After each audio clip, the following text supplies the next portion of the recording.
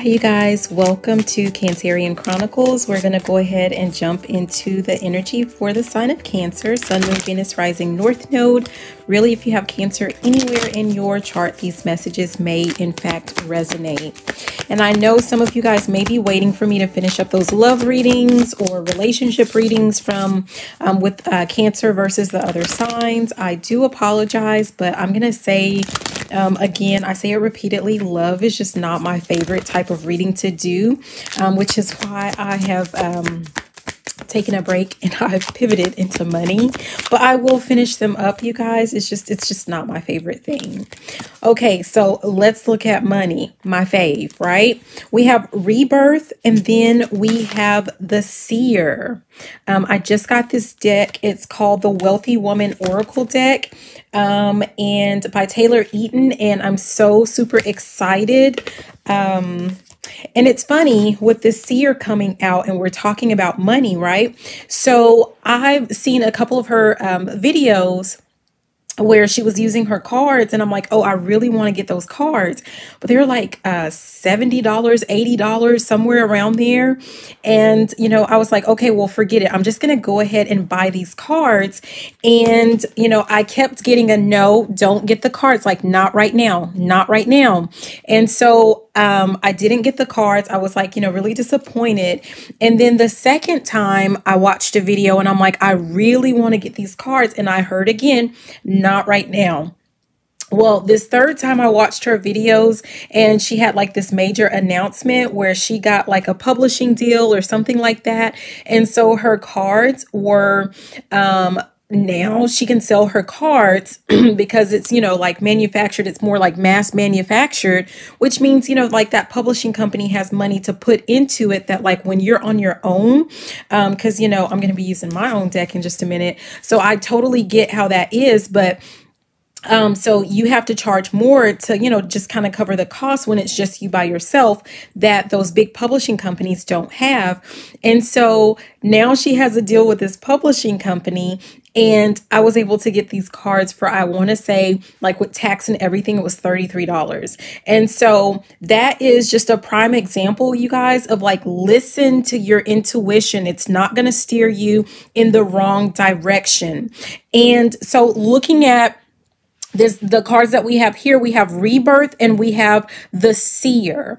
And this makes me think about like someone is about to see something with just like a new set of eyes. Like you could have been working on like a business or something with your finances. And i don't know if perhaps like you um you know maybe you kind of um let things go or yeah, I'm getting the sense of like someone who may have stopped working on a business, like maybe things just like you weren't seeing as much um, momentum, maybe as what you were wanting to see.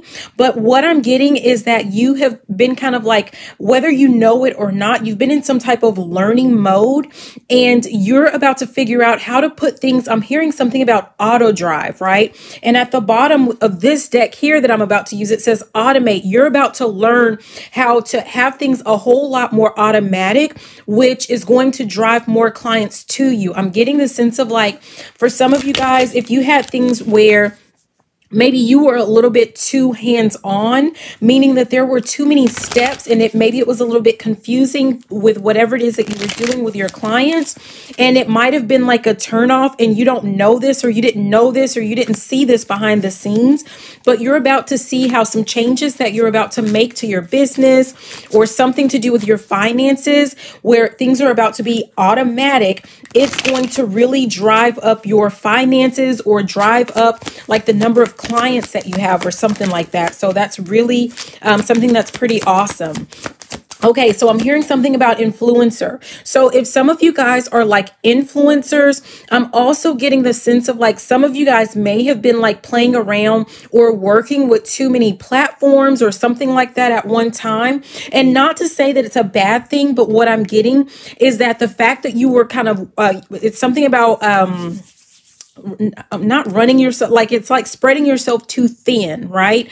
So there if there's only one of you and you're not at the point to where you can hire out for certain things then you are kind of spreading yourself very thin with all of these platforms that you were trying to use. And so some of you guys i'm getting the sense of like you're looking into um, other platforms that are going to make things a lot more automatic or automate um, what you know like your uploads for your videos or something that you're doing.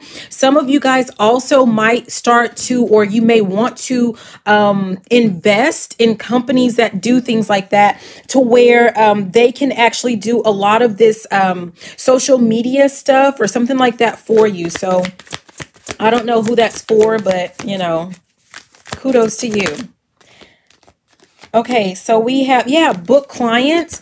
And that's something that, you know, th that's what this is about. This is about, you're about to see a new way or a, a better way, um, a more automatic, automated way to book your clients, which, or it's going to allow you, like, if, if you are big into, like, you've been focusing a lot on, um, like your social media platforms or accounts, then I'm also getting like, when you automate this or you work with this company or whatever you're doing, it's going to free up some time and some space and some energy so that you can focus on booking your clients. It says here, focus on booking your calendar with enough clients to reach your monthly income goals. And I see like some of you guys, that's what you're about to focus on. Um, all of those things that have to do with like paperwork or all these behind the scenes type things, like that's not going to be your focus or that's what you're starting to see. Like your focus needs to be on getting more clients booking your clients making things easier for your clients or that experience um, for your clients. So we have the card inspire because what you're meant to do is you're meant to be here inspiring people and helping people. It says i didn't even read it but it says when you become influential in your field you inspire people to step into their own greatness because you rose to your own first for some of you guys, okay, so what I'm getting for some of you guys, if your business was struggling or you were struggling in your business, part of that has to do with like some of you guys had to put in, I'm hearing something about fancy footwork. Some of you had to put in the work um, and experience the work so that you can then be able to turn around and show your clients or inspire and help other people along their path as well. Yeah. Yeah. Oh my gosh. We have broadcast here um, at the bottom.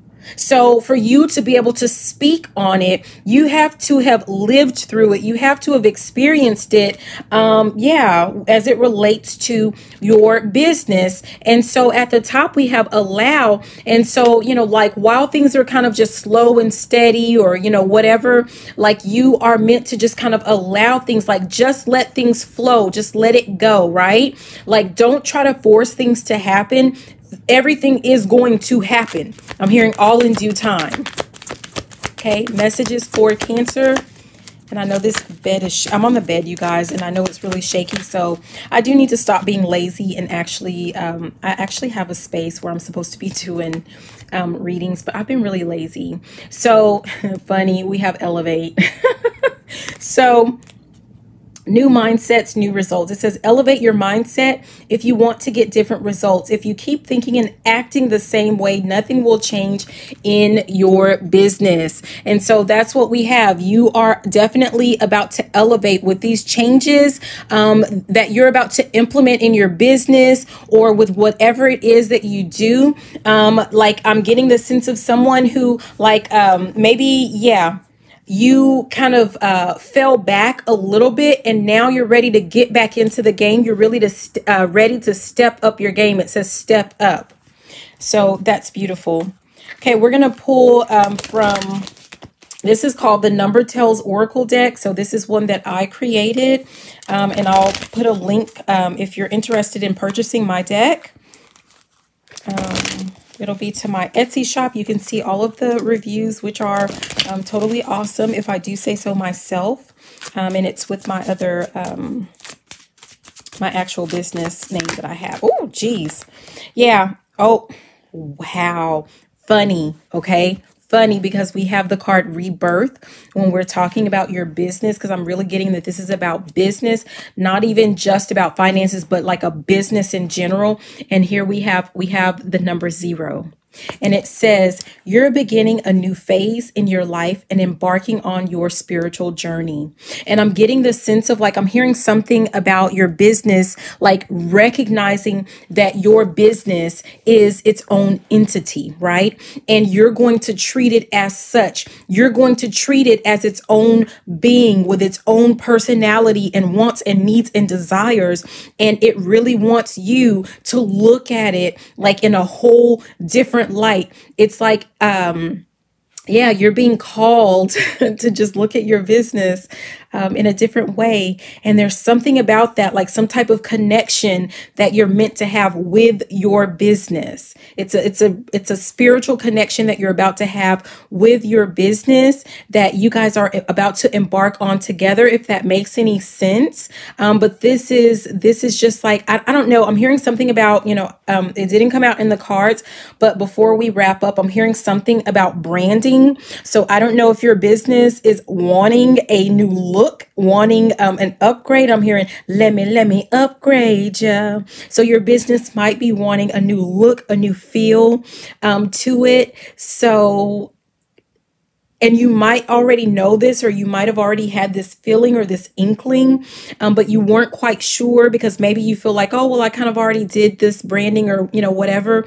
But i'm getting the sense of like you and your business are in agreement that you need there need to be some type of changes that have to do with branding.